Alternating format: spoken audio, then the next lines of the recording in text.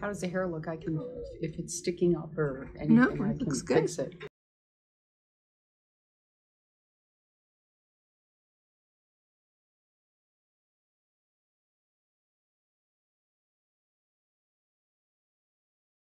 Well, flying as the well, the first woman pilot as well as the first woman commander was a lot of responsibility, and it was important for me to do my job the best I can, not make a mistake, make sure the mission was completed. And I never really thought about the historical aspect of it, but I thought more about the fact that other women would be following me, and I wanted to set a good example for uh, you know women who were interested in being astronauts someday, or maybe you know being pilots or joining the military.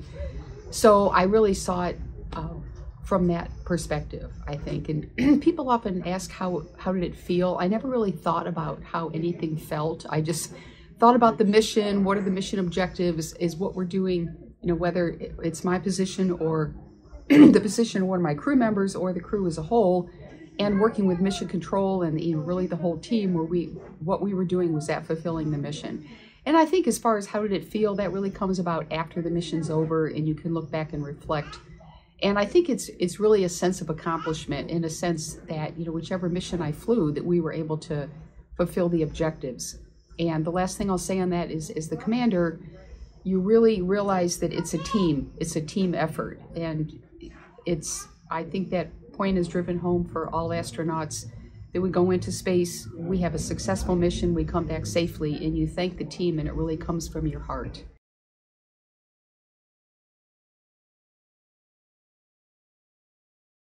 So returning to Earth, I think, was primarily a major effect on my after my first mission. Um, I flew four times. My second, third, and fourth mission, I was a little more uh, able to kind of predict what the issues would be. I never uh, had a clumsy feeling like dropping something, thinking it was going to float. But I did have a, a very unusual sensation that I hadn't heard about before. My first day back on Earth, when I woke up, uh, you know, I'm sleeping, and I, I woke up that morning, and I had lost all the feeling in my arms and my legs, basically my skin. I woke up and I couldn't feel any weight around me. I couldn't feel the bed. I couldn't feel, uh, I mean, it felt like I was floating again. And at first it surprised me, and then I started laughing, thinking, well, this is comical. And then I was wondering why no one had told me about this. And as I is I think it took about five, maybe seven minutes for my feeling to start coming back. and then I got up and started like getting the blood flowing again. So I talked to the flight surgeons about it, and they said that sometimes if you have not been um, using your nerve endings, you know, that's an effect that you can have. Not every person has that happen, but I readapted very quickly back to being on Earth. It's a funny thing that happened after my second flight, but to a much smaller extent, and then it did not happen after my third and fourth flights. And I think you'll find that astronauts have different different things happen to them, and I, I think the only other thing I'd mention on that would be after my last flight, I, I walked around a lot the day I had returned home. So the, the day after that, which was my second day back on Earth, my feet hurt so bad I could not walk. And I had to, I, I think I remember staying home that day and, and working from home as much as I could, giving my feet time. And I think what happened was the bones in my feet had shifted. And when I came back and started walking on my feet, the bones went back to their gravity position and that caused some pain in the uh, you know in my foot overall so these are things I, I think that we just need to be aware of and there's countermeasures to keep that from happening again for an astronaut going on their uh, well their first flight as well as especially returning from uh, subsequent flights if you can anticipate these problems happening you can do things to prevent them from happening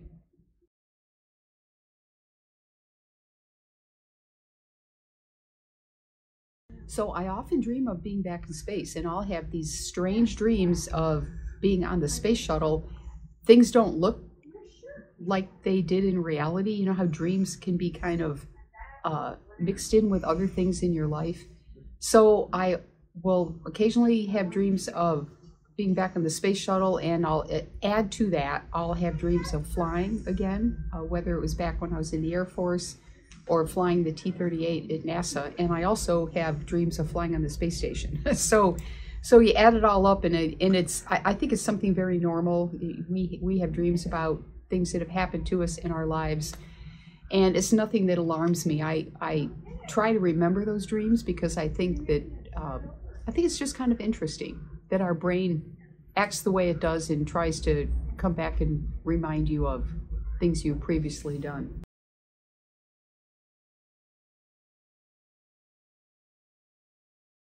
I'm from Elmira, New York, which happens to also be the location of the National Soaring Museum, where there's a glider port at the, the location is called Harris Hill, which is right adjacent to Elmira, New York. Actually, it's in Elmira, New York.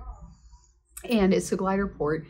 And inside the museum, I uh, I donated something for a display, and it is a shirt from one of my early missions. It might have been my first or second flight.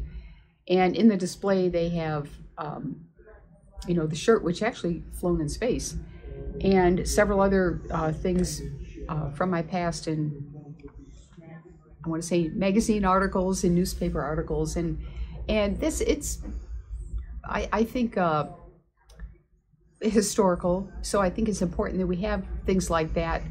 And for a period of time there was also a summer camp at that museum which uh, was the Eileen Collins summer camp. And the kids could see the things that the uh, gliders uh, were, you know, how gliders were um, built, how they fly. Um, the kids got a glider ride, and they actually got to spend the night in that museum where my display was.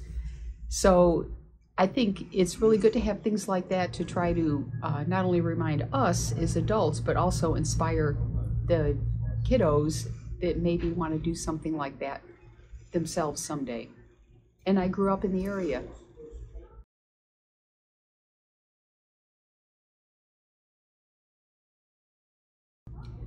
We found uh, on one of the orbiters in, it was approximately 2004, that the rudder speed brake actuator had a wiring problem. And the way this problem would have manifested itself, had it not been fixed, is if uh, upon landing, this is just one of the possibilities. On landing, if there was a strong crosswind and the commander who was controlling the shuttle at the time, landing the shuttle, and then you, you use the rudder pedals and the nose wheel steering as you roll out to stay on the runway.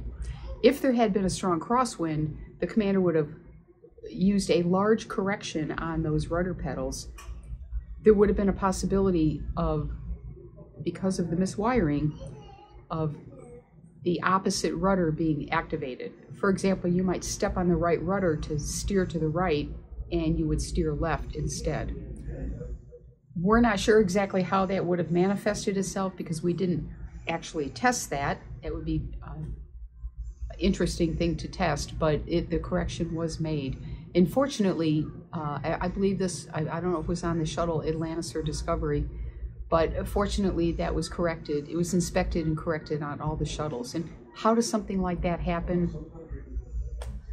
It, it's, it's why we need to uh, test everything. We need to make sure the paperwork is accurate. And, you know, I, I mentioned the testing. Uh, sometimes it's expensive to run tests, but it, the more tests that you run, up to a point, the safer your uh, spacecraft is going to be. So I've always been a big proponent of test, test, test, but I think that particular problem that you mentioned goes way back to the early days of the shuttle.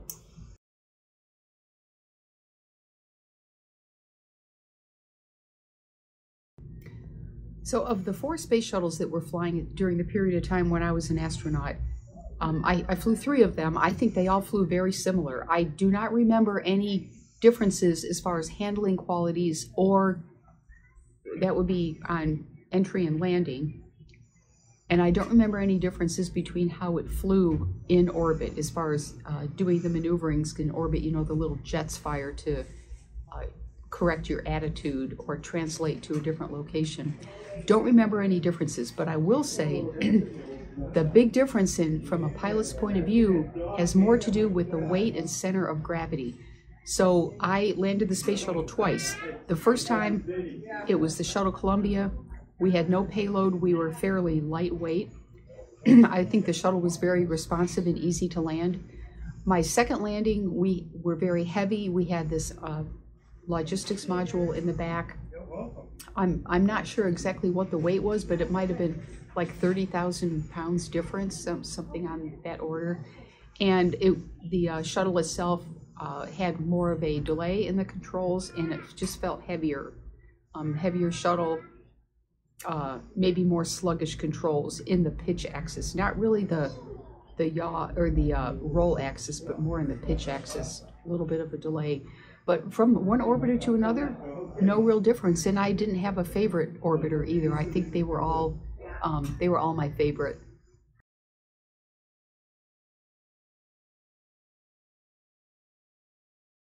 I love space exploration, and the reason I, you know, I've had roadblocks along the way, um, even back to when I was a pilot in the Air Force, for example, back prior to 1973, women were not allowed to fly any aircraft in the United States that could potentially uh, go into combat. And these were combat rated aircraft, a fighter, a bomber, reconnaissance, close air support. Women were not allowed to fly those. I knew that that was going to change someday. The women just had to prove themselves as time went along. I think the uh, country's leadership, the Air Force leadership, realized that the women can do a really great job flying any airplane. And the uh, combat exclusion law was changed in 1993. I never had a chance to fly a fighter operationally, but I did have a chance to fly as an instructor in the T 38, and I flew the cargo aircraft, the C 141 both of those aircraft very well prepared me for the uh, astronaut program.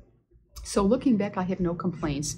Um, but looking back, I'm really glad that I was part of that generation of women that was able to uh, do our jobs and show that women can fly, which later allowed the combat exclusion law to be lifted. So I'm not sure what else to say about that. There were roadblocks along the way that had nothing to do with being a woman, but had to do with dealing with the bureaucratic system and the laws and the rules that were out there. I wrote a lot about this in my book.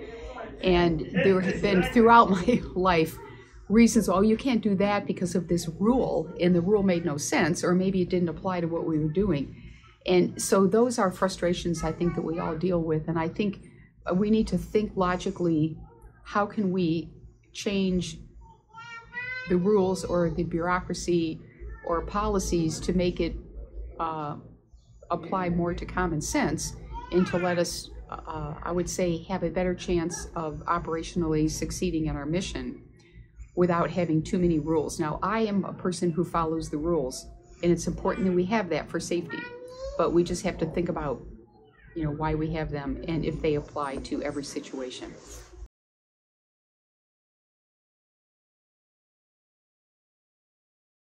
So work family balance is very important for women as well as men, but I think women get asked this question a lot more than men because you know women traditionally are the moms that nurture at home, you know, raise the kids. It's just kind of a traditional thing that we do.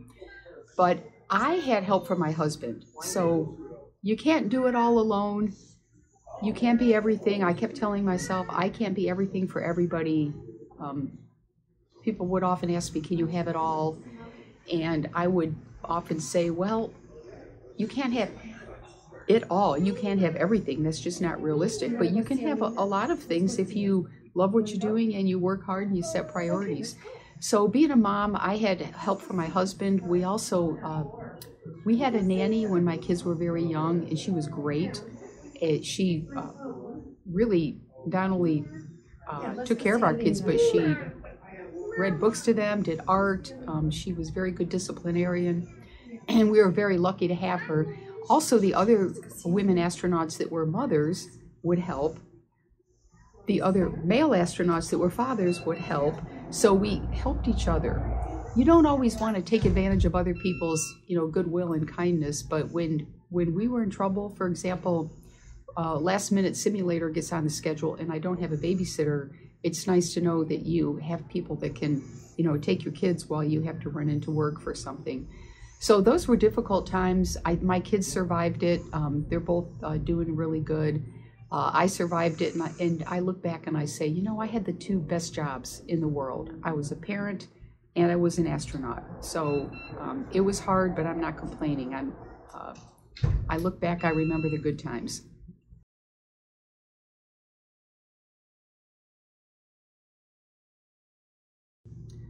So, who were my heroes and role models? Well, by far my parents. Um, I dedicated my book to my parents. They struggled in life for a variety of reasons, you know, financially and, you know, family issues. And so my mom and dad really struggled, but they had such a positive attitude. And I, I think I learned from them how to, um, I, I think, deal with problems in life and not fall apart, not run away from problems. But when you have a problem, see it as a challenge and try to uh, get help to find ways to solve the variety of problems that you cross in your life. And I think what I learned from that helped me in my job as an Air Force pilot as well as an astronaut. So my parents by far, and outside of my family, I would say the Gemini astronauts were all my heroes. That was when I was first really aware of the uh, space, the human space flight program uh, I don't remember uh, Mercury as much. I think I was too small for that. But I do remember Gemini, and they these guys were like exactly what I wanted to be. In my, I wanted to be just like them. They were, they were test pilots. They were military pilots. They were engineers, and of course, then the Apollo astronauts came about. But I think as a young child, the Gemini program is what initially really inspired me. And I'll also add to that the women Air Force service pilots that flew during World War II within the United States. They ferried aircraft around, and they were they were very good pilots. They were never in the military, but they uh, I want to say they there were enough of them, and the program was visible enough that uh, many books were written about them. So when I was young in the 1970s, I learned about the they were they were called the WASP, Women Air Force Serv- Service Pilots I learned about them. I read about Jackie Cochran, Nancy Love, who started the the program, and they sort of became my heroes because I wanted to be a pilot, and knowing that there were women pilots that had flown in the past helped me realize that, that it was a goal that I could reach for myself. And I should also mention, I didn't know about the Mercury 13 women until I was already an astronaut, but they were the, the women that went through the medical testing for the Mercury program. And I, I always like to say something about them because they were really a super amazing group of women that could have been astronauts, but it just didn't work out for them.